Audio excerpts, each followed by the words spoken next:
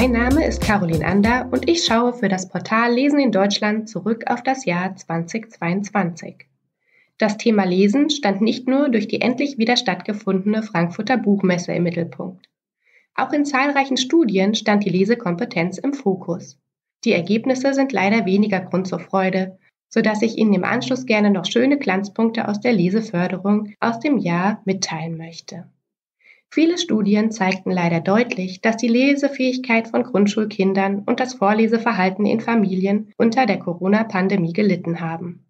Die Schulschließung und der Distanzunterricht aus 2021 haben die Lesekompetenz der Schüler und Schülerinnen verringert. Schlussfolgern zum Beispiel die Autorinnen des neunten Nationalen Bildungsbericht und die der IFS-Studie zur Lesekompetenz von ViertklässlerInnen.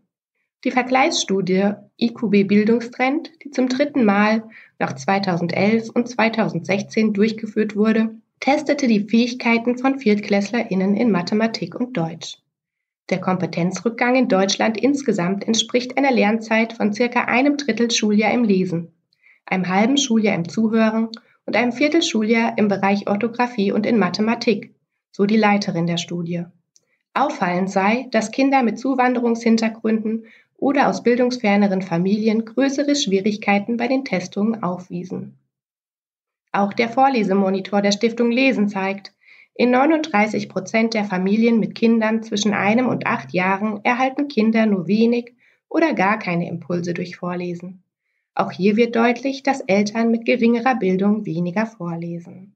Die Studie zeigt, der Leseerfolg wird verstärkt, wenn Kinder bereits vor dem zweiten Lebensjahr mit Büchern und Vorlesen vertraut gemacht werden und auch Schulkindern noch vorgelesen wird, auch wenn diese zum Teil schon selbst lesen können.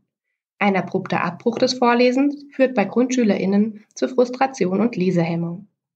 Aus eigener Erfahrung kann ich sagen, dass das gemeinsame Vorlesen mit unserem Schulkind großen Spaß macht und es einem selbst zeigt, wie mühsam das anfängliche Entziffern der Wörter ist. Zusammen können auch die langen Wörter gemeistert und nach einer Zeit sogar die Erwachsenen vorgelesen bekommen.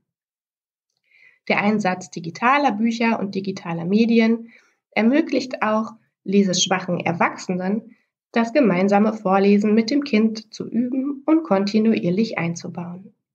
Alle Autorinnen fordern eine nachdrückliche Qualitätsentwicklung des Bildungssystems. Bereits in der Kita müsse eine nachhaltige Sprachförderung und ein, und ein, Spracherwerb der Bildungssprache betrieben werden. Dafür müssten langfristig und systematisch aufeinander abgestimmte Maßnahmen für den Lese- und Schriftspracherwerb über den Bildungsverlauf hinweg umgesetzt werden. Der 15-jährige Erfolg der Hamburger Sprachförderung könnte da ein gutes Beispiel sein, da er zeigt, dass frühe und intensive Maßnahmen für Kinder ab viereinhalb Jahren bis in die Schule hineinwirken. Zu meinen Glanzpunkten für 2022 gehört die Solidarität mit Geflüchteten aus der Ukraine. Buchgeschenke in Deutsch und Ukrainisch erwarteten viele Familien in örtlichen Bibliotheken und von Institutionen wie dem Goethe-Institut und von Vereinen wie zum Beispiel den Bücherpiraten in Lübeck. Mehrsprachigkeit und Vielfalt gehören eben einfach zu unserer Gesellschaft dazu.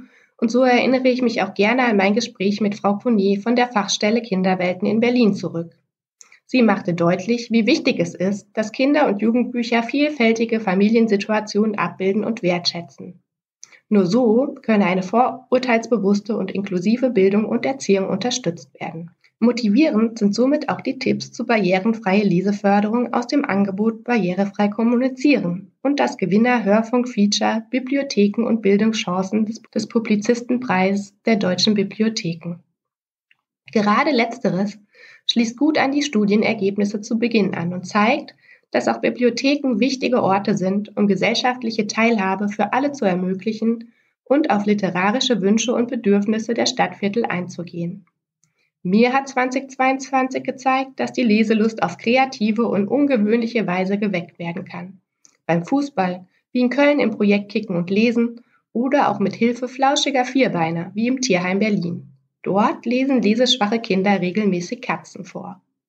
Für 2023 wünsche ich uns allen weniger Konflikte, Offenheit füreinander und jeden Tag minimal fünf Minuten, um miteinander und füreinander zu lesen, und zuzuhören, egal ob im gedruckten Buch, digital oder in Audioversion.